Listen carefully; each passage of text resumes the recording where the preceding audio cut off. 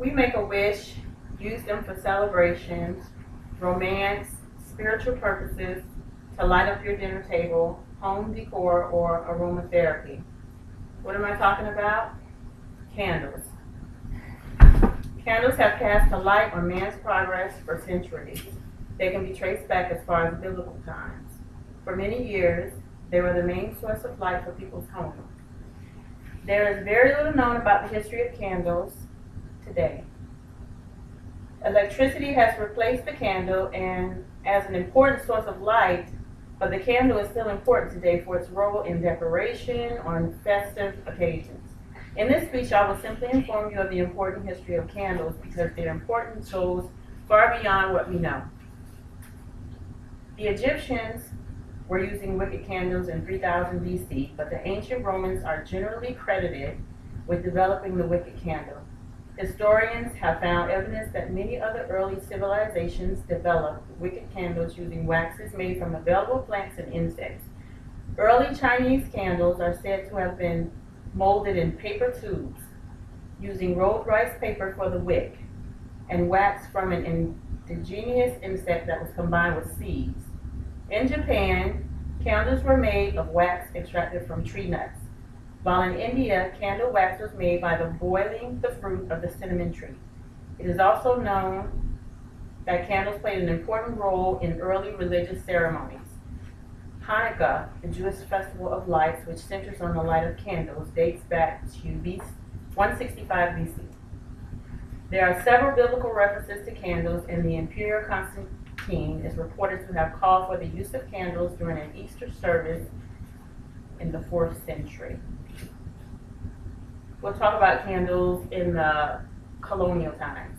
Colonial women offered America's first contribution to candle making when they discovered that boiling the grayish green berries of, of bayberry bushes produced a sweet smelling wax that burned clean. However, extract, extracting the wax from the bayberries was extremely tedious. As a result, the popularity of bayberry candles soon diminished. The growth of the whaling industry in the late 18th century brought the first major change in candle making since the Middle Ages. Paraffin wax was introduced in the 1880s.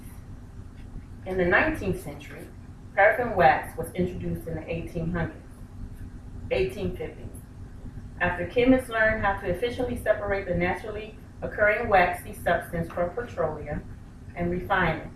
Odorless and bluish white in color, paraffin was a boon to candle making because it burned cleanly. Consistently, it was more economical to produce than any other candle fuel. Its only disadvantage was a low melting pot. This was soon overcome by adding the harder stearic acid, which had become widely available. With the introduction of the light bulb in 1879, candle making began to decline. French chemist Michael Eugene Chevreul discovered how to extract stearic acid from animal fatty acids named stearin candles. The 20th century, candles enjoyed renewed popularity during the first half of the 20th century when the growth of the U.S. oil and meatpacking industry brought an increase in the byproducts that had become the basic ingredients of candles, paraffin and stearic acid. The popularity of candles remained steady until the mid 1980s, when interest in the candles has, as decorative items, mood setters, and gifts began to increase notably. Candles were suddenly available in a broad array of sizes, shapes, and colors and consumer interest in scented candles began to escalate. Candles today. Candles have come a long way since their initial use. Although no longer man's major source of light, they continue to grow in popularity and use. Today's candles symbolize celebration, mark romance, soothe the senses, define ceremony, and accent home decors, casting a warm and lo- lovely glow for all to enjoy. There are different types of candles today.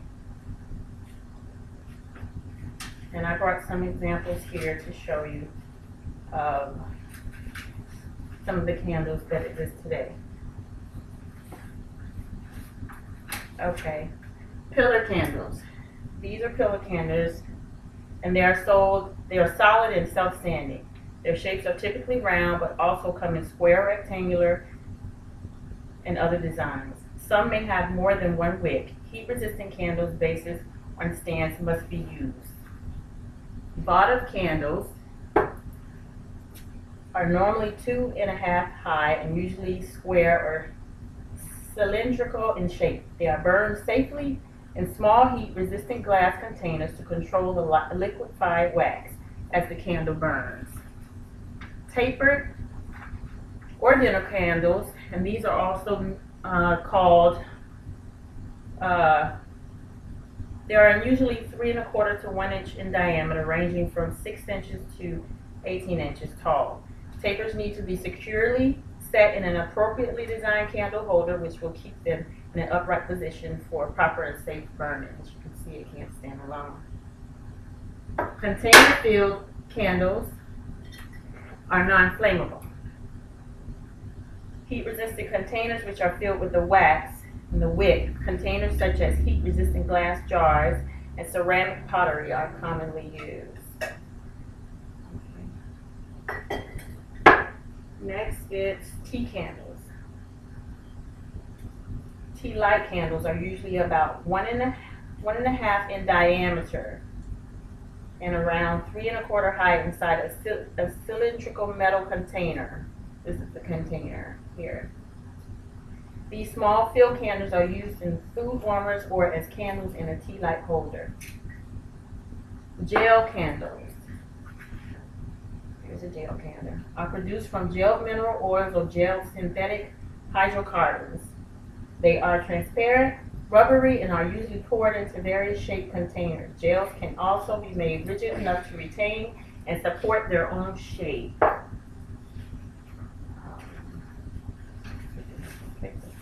Specialty candles. I found this little angel. May be found in, any three-dimensional shape imaginable. They can be molded or sculpted by hand and are mostly for decorative uh, purposes.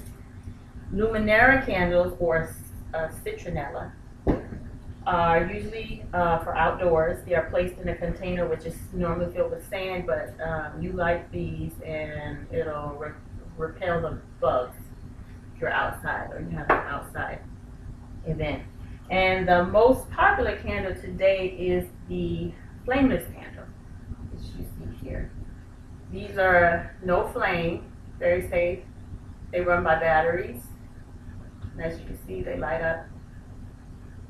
And also, they've added a, a an added bonus to it. They've also put in MP3 players, as you can see.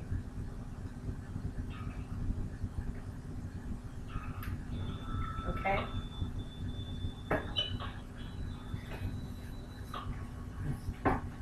Candles have been used for light and to eliminate man's celebration for more than 5,000 years. Yet little is known about their origin.